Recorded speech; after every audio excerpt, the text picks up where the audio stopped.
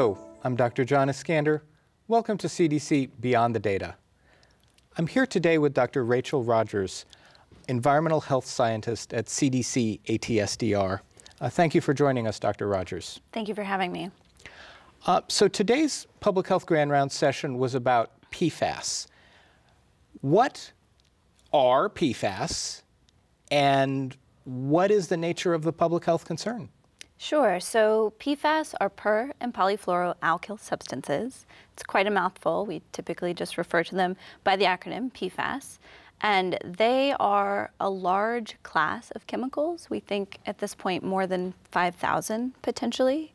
They're characterized, chemicals in the class are characterized by a long carbon chain that's either partially or fully fluorinated. So where there would be a hydrogen bond and instead you have a fluorine atom, um, the carbon fluorine bond is one of the strongest in organic chemistry, and as a result of that, PFAS tend to be incredibly environmentally persistent and also persistent in humans.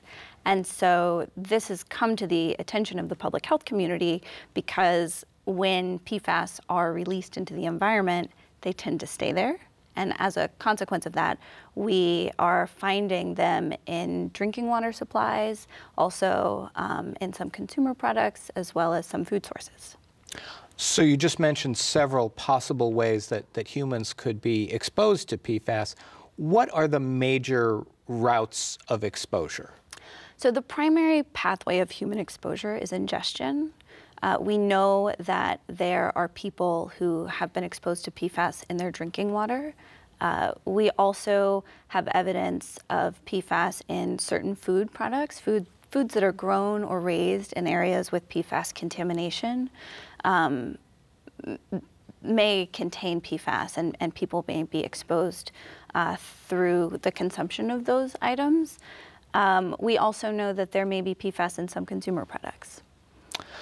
So um, we have known for about 20 years now through one of, one of CDC systems, the, the National Health and Nutrition Examination Survey, that there are measurable levels of these chemicals in, in, our, in our bloodstreams. Um, what have we learned about some of the human health effects and what do we still need to learn? That's right. So since uh, the early 2000s, say 1999, 2000, we have been able to measure PFAS in the blood of the general U.S. population. Uh, what we've learned through that work is that most people in the United States have been exposed to PFAS and, and have some level of PFAS in their blood. Um, now, I will note that the uh, data is suggesting a decline in serum concentrations, blood concentrations of PFAS over time. So we've seen uh, levels of PFOA and PFOS, two specific species, go down since 1999, uh, but, but we do still find them in the blood of the US population. Um, there is a growing body of scientific information about the potential for adverse health effects resulting from exposure to PFAS. Um, some, but not all, studies suggest that PFAS have the potential to affect many different body systems. Um, in particular, we have evidence that PFAS may uh, be associated with an increase in cholesterol levels. There may also be some impact on the immune system, and there may be an association with certain types of cancers. Okay, and yes, I would encourage people to uh, watch watch the full ground grand rounds for the uh, the, the details on that, um, and and so health studies of the health effects of PFAS are are, are ongoing. Um, in the interim, what are some of the things, actions taken on the state level? We heard, for, for example, today from the state of Michigan. What kinds of public health actions uh, can be uh, taken um, if you know about PFAS exposure? Absolutely. So I, I think CDC places a great priority on identifying where exposure is occurring, assessing it, and then evaluating the potential public health impacts of those exposures. We have a number of efforts underway to uh, accomplish those goals, but there is quite a lot going on at the state level that's very much in alignment with those efforts. Um, as we saw in the grand rounds, there are several statewide surveillance efforts underway to, to really measure PFAS in drinking water supplies in order to identify places where people are being exposed. That's really the first step. Um, we need to know where people are being exposed in order to evaluate the public health impact of that exposure and to stop it. Uh, and I know Michigan is, is doing some things which I think are, are, are, are um, going a little bit beyond that. I know they've put up some advisories for fishers and hunters in some, uh, in some locations. Um, we also heard today a very powerful story of a, of a community advocate. What, what actions can communities take as like so many communities as they learn that they have been exposed to these chemicals. Absolutely. I think the presentation that we saw today really highlights the importance of community involvement and community engagement. Uh, more and more every day, we are identifying new communities that are grappling with concerns about PFAS contamination and, and concerns about exposure to PFAS. And what we see is that community engagement uh, is critical to our ability to address the concerns and to solve these problems and to get the information that we need to really get ahead of this public health concern. Um, can you talk a little bit about some of the ways, uh, scientifically and otherwise, that CDC is collaborating with some of these communities? Absolutely, I'd be happy to. Uh, we have quite a few projects going on right now. Uh, CDC is engaged with over 40 communities across the United States in some way or another. Uh, we are are working on public health assessments. We also have a couple of really exciting projects that are just getting off the ground. We're conducting exposure assessments in a handful of communities across the United States um, that are located near current or former military bases and that have had demonstrated PFAS contamination in the drinking water.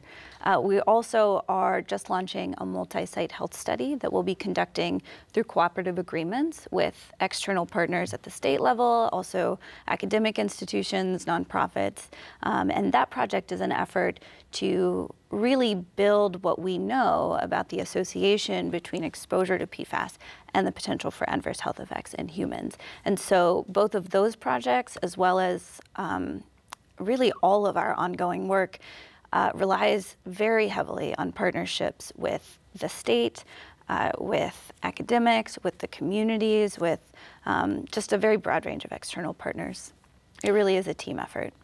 So that's, again, uh, sounds like there will be a lot of um, scientific and, and health information coming, and, and maybe just as importantly, uh, helping communities feel, uh, feel, feel supported and feel like they have uh, the power to, to, to do something.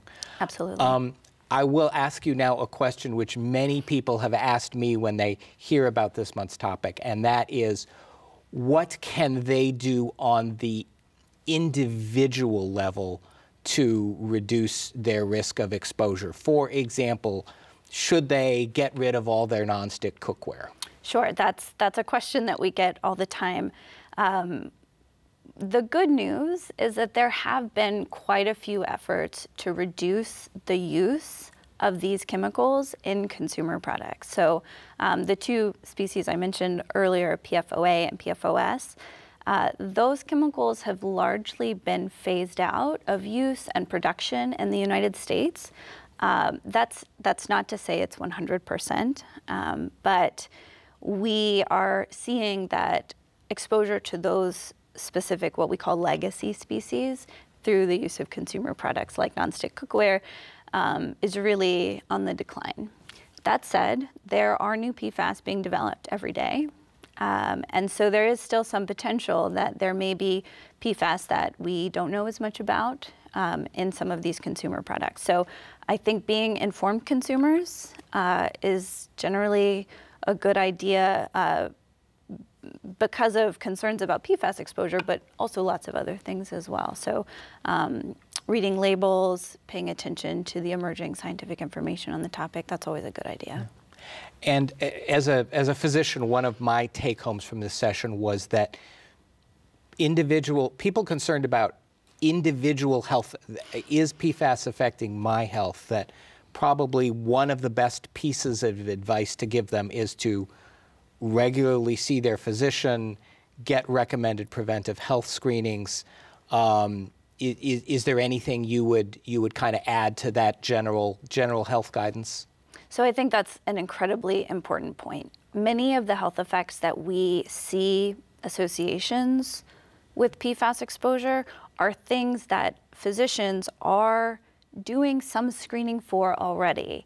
Um, so it is incredibly important that people follow recommendations for standard care. They uh, get their annual physicals, that pregnant women get prenatal care.